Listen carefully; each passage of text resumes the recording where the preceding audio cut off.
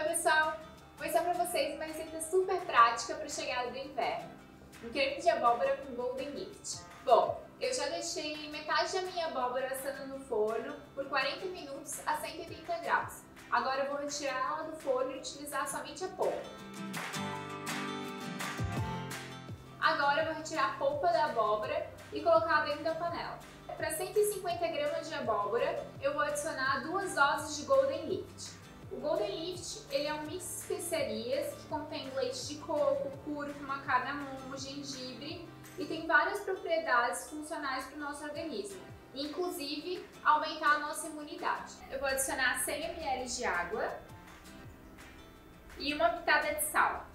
Em seguida, é só levar ao fogo até ferver.